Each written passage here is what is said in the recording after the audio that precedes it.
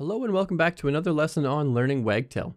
In this video, we are going to enable an orderable and a stream field into our API.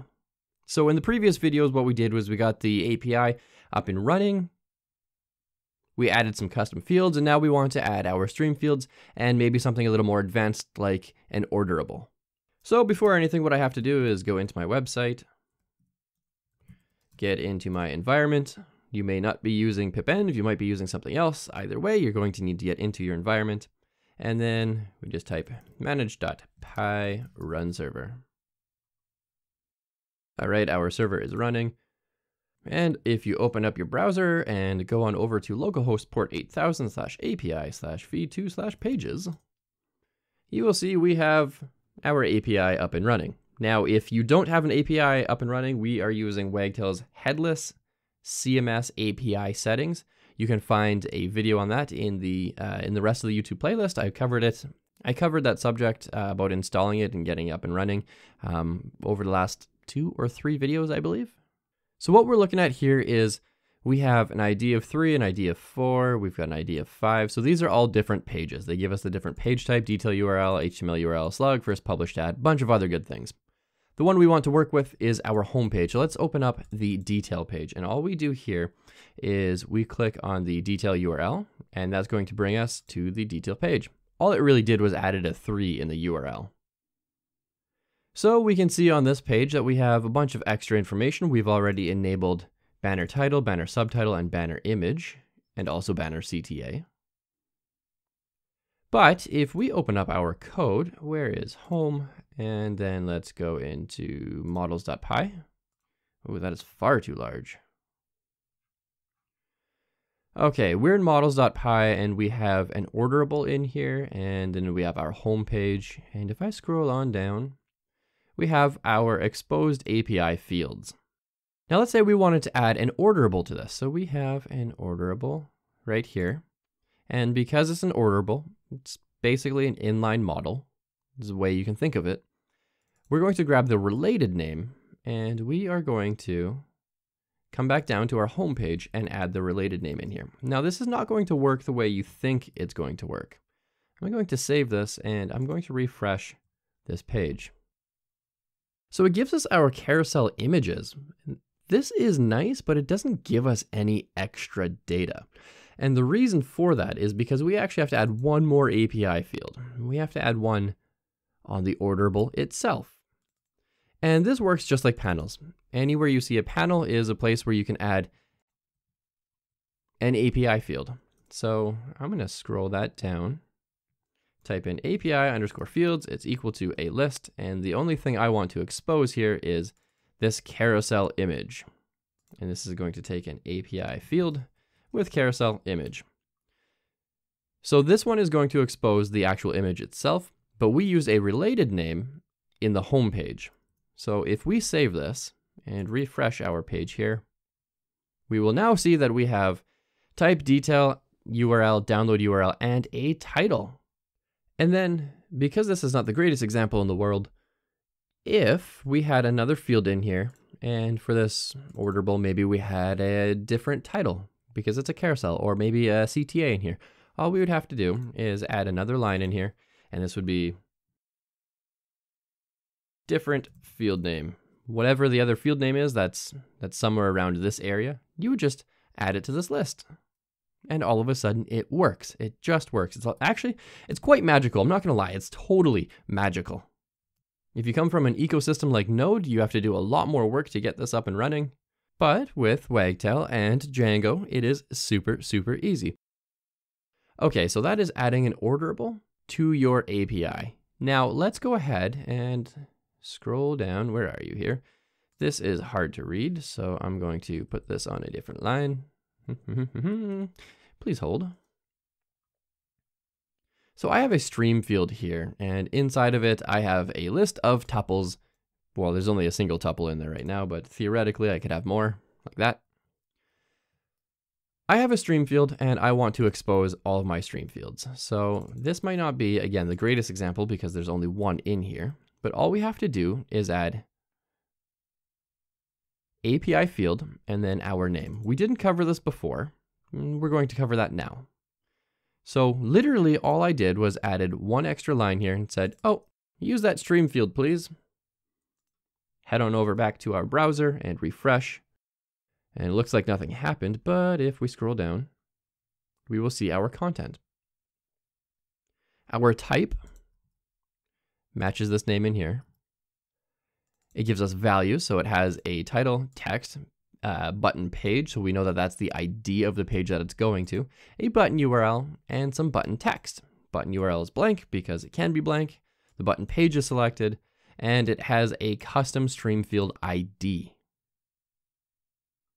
Now, all of these stream fields are basically a giant list, or if you're in the JavaScript world, that is an array of objects, or a list of dictionaries. Now, this may have been a little bit too fast to pick up on, so let's run through one more example. Let's grab, let's grab a page. In fact, let's uh, let's go and explore. Let's figure out what page we want to expose here. So we have pages, home, blog. Uh, let's do this one. This one. It's got to be one of these. Hello world. Oh, we got some authors. That's a good one. Okay, so this is what we're going to do is we are going to expose some fields for our blog post page. And the blog post that we want to edit is blog post number six. So let's go through here. We see ID is six, blog post page, blog post one, and let's click that detail URL. Also, just a note, if you are using these links where it says HTML URL and detail URL, and you notice that it doesn't have the port that you're looking for, you can just go into your Wagtail settings, go into sites, yes, leave page, go into localhost and change that port. By default, it's set to 80. Just set it to 8000 or whatever port you're running it on. And that will automatically fix it up in here.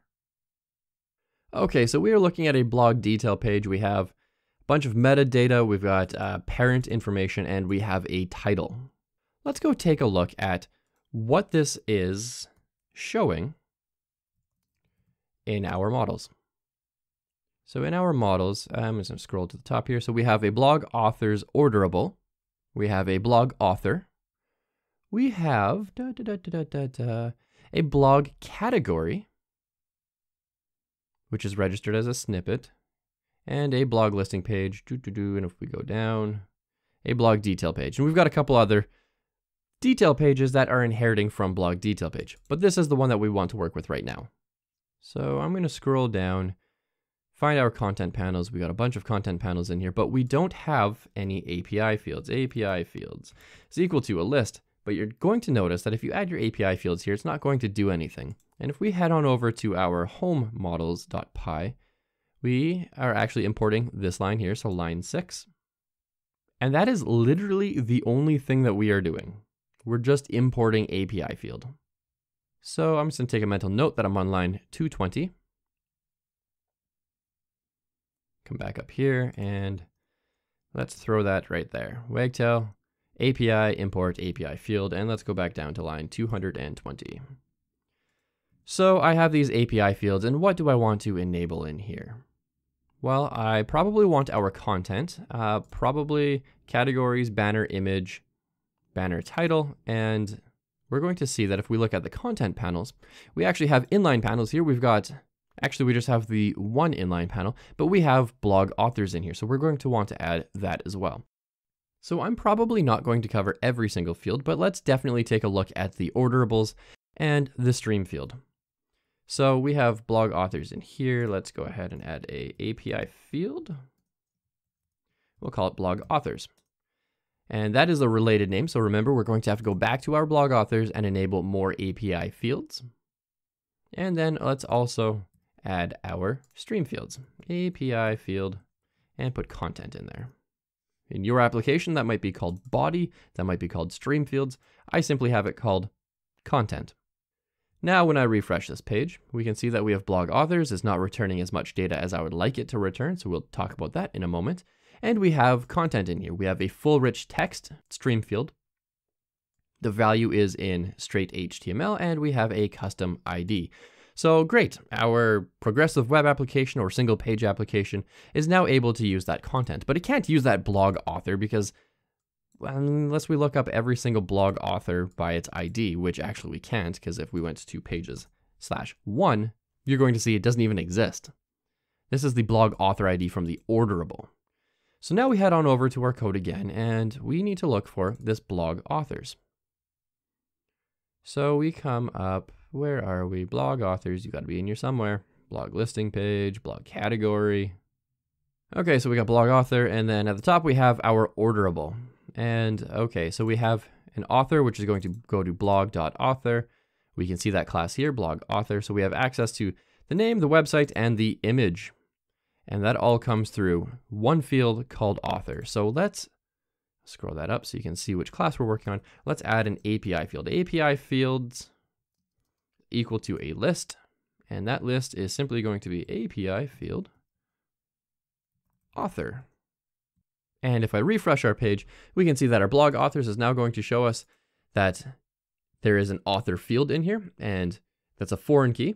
You can tell because it has an ID. And it also has meta information.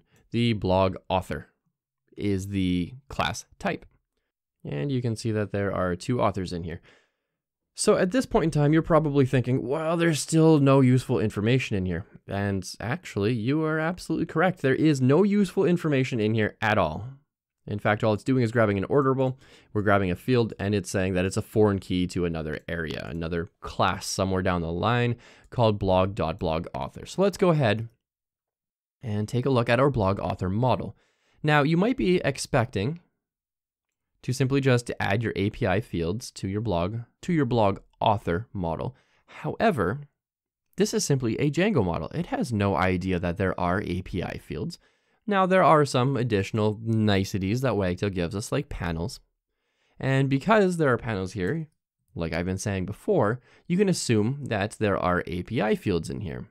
And I'm going to show you that this does not actually work the way that we're expecting it to work.